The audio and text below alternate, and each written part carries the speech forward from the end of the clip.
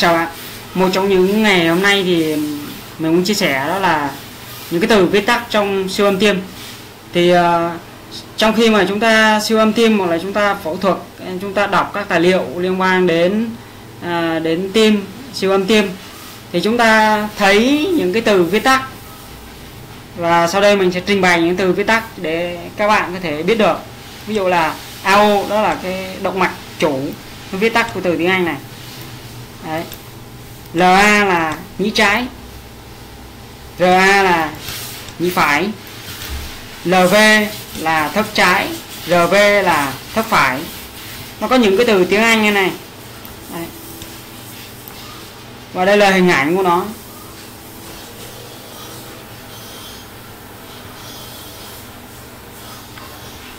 Đấy.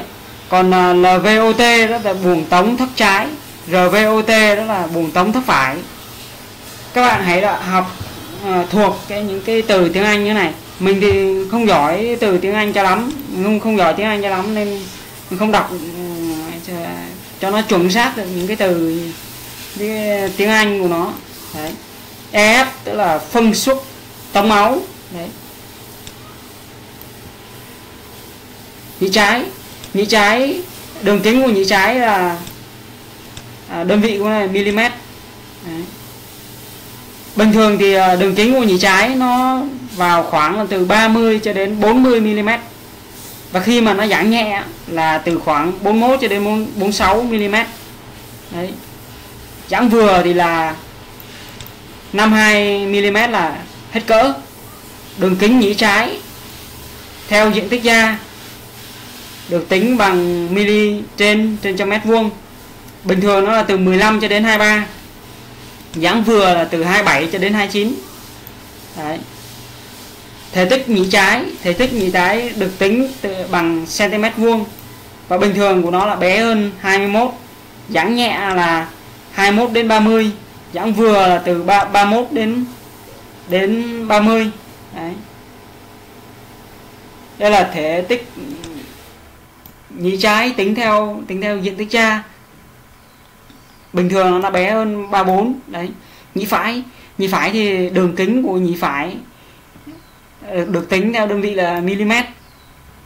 Nếu mà dáng vừa thì nó trong khoảng từ từ 50 cho đến 54 đường kính à, trục ngắn nhĩ phải thì bình thường nó là từ 15 cho cộng trừ cộng trừ cho 3 đấy. Đường kính ờ, trục dài nhĩ phải. À, bình thường nó là từ khoảng 25 à, ờ, cộng trừ cộng trừ cho 3 đơn vị là một một SD Đấy. còn ở ở nữ thì nó lại đường kính của trục dài nhĩ phải nó nó nó nhiều hơn. Nó vào trong khoảng từ 25 cho cộng trừ cộng trừ cho cho cho 3 Đấy.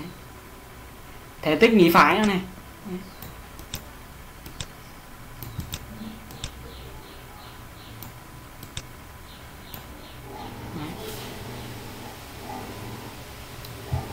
trong đó có những cái từ viết tắt tiếp theo nữa là à, IVSD IVSD nó là độ dài của vách liên thất kỳ tâm tâm trương.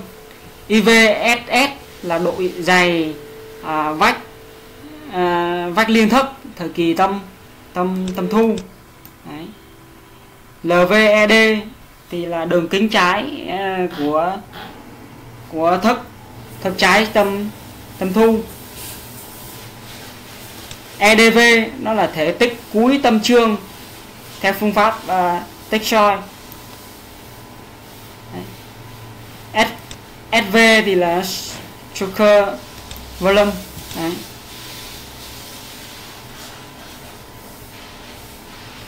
MV nó là là vang hai lá. Và TV nó là là cái là vang vang ba lá. Đấy. STG nó là chỗ nối xoang xoang ống. Vang ba lá. Đối với vang ba lá, chỉ số bình thường của nó là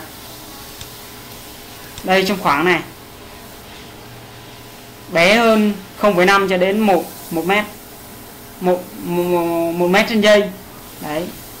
Hẹp vang ba lá thì cái dấu chứng hẹp nó đáng kể ở về huyết động tức là chênh áp trung trung bình.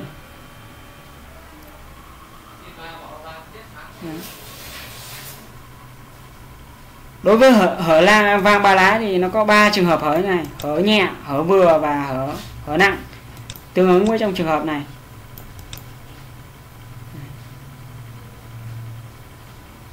Ngoài ra nó còn có những cái, ví dụ như BV là vang động mạch phổi.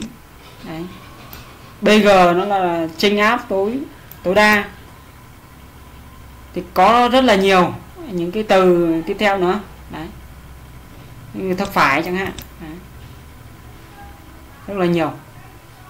Thì các bạn có thể vào cái blog này. Đấy. Theo đường dẫn này. Hoặc là tìm kiếm với với cái tiêu đề bài tiêu đề bài viết. Là các từ viết tắt trong siêu âm những công trình. Thì nó sẽ ra cái bài viết này. Và hẹn gặp lại bạn ở trong cái buổi uh, chia sẻ tiếp theo.